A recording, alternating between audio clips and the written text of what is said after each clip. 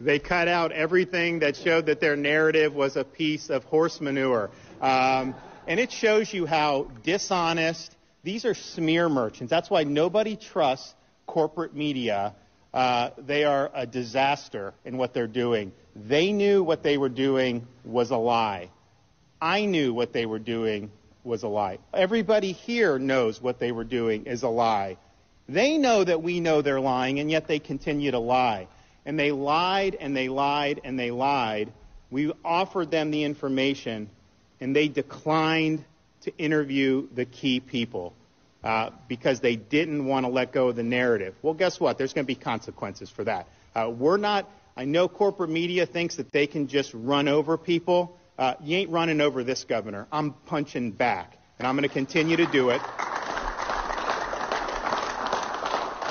Until these smear merchants are held accountable. The fact of the matter is, Florida has vaccinated three and a half million senior citizens. We were the first state in the country to put seniors first.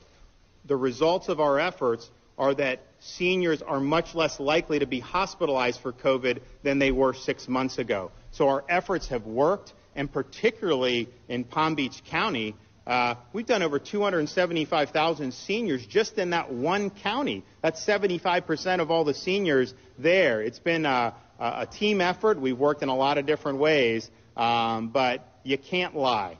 Uh, and you should have not run it.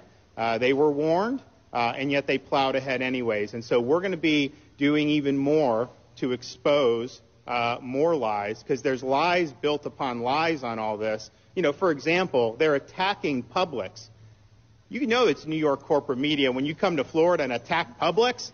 I mean, like people like I mean, like maybe they they like their dogs better than Publix, but not much. I mean, it's one of the most popular brands in the state. It would have been malpractice to cut Publix out of assisting, and I know we were able to expand retail sites in Bay. People were very happy, um, but what they're saying is is a total crock that somehow only Publix was getting it. It is nonsense, and we told them it was that and they cut it out, they spliced it because they can't handle the truth.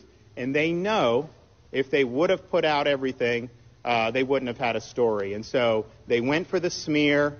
Uh, they've been caught red handed. Now, see, all these corporate media people, they are all scratch each other's back. So, you know, a lot of them just are pretending it didn't happen. They're not going to really police their own. Uh, but we're going to have a lot of people that are going to police their own. But the message is for people out there unless you're a partisan leftist, uh, do not trust corporate media. You can't trust them. They're not trustworthy. They will lie. They will smear. Um, and then they just move on to the next target and think that they're going to be able to get away with it. You ain't getting away with it here, okay? You come down to our state and you try to smear people, um, you know, we're going to bite back and we're going to hold you accountable. So this is not over by any stretch of the imagination.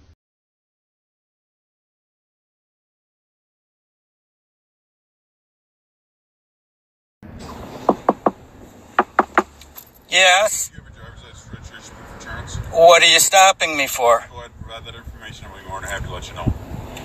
Well, you have to have a crime or infraction for me to identify myself, sir. Who am I speaking with? The driver of this car. What's your name and badge number? Officer Schneider. Officer Schneider.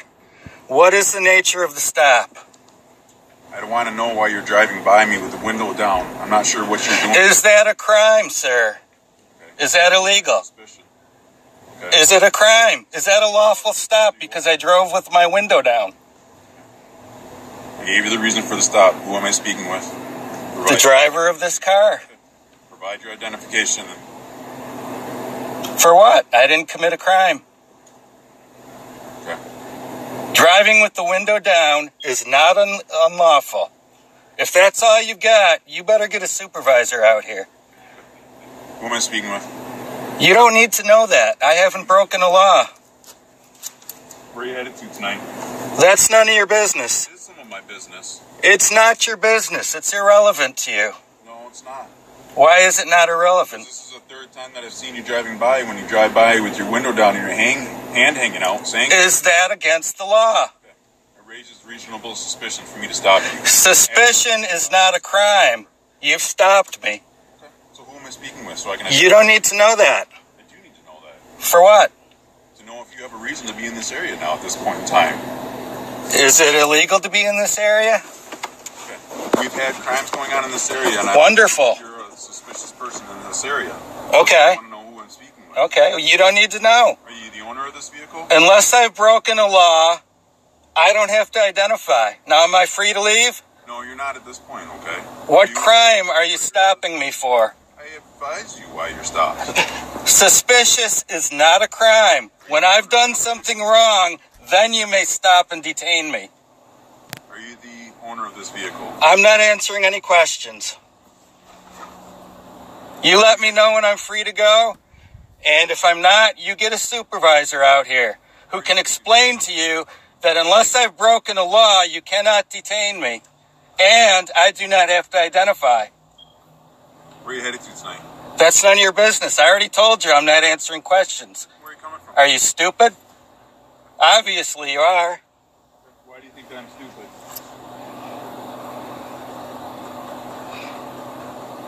You let me know when I'm free to go. Good. Where are you headed to tonight?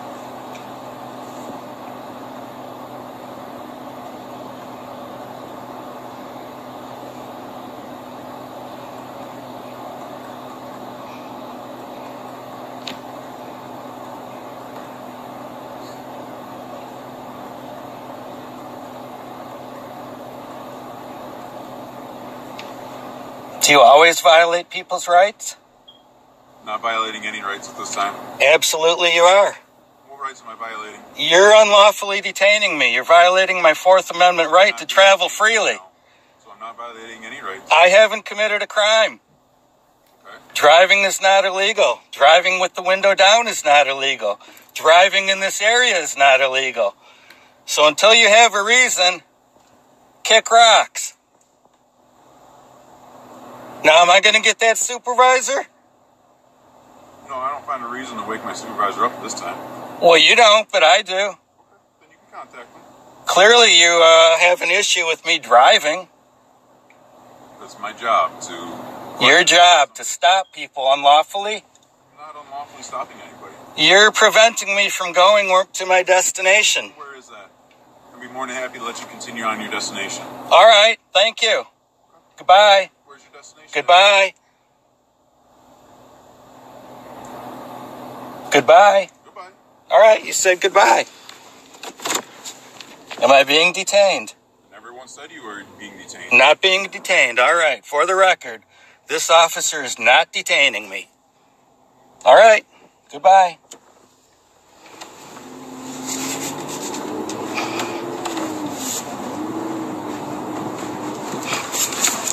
Fuck you.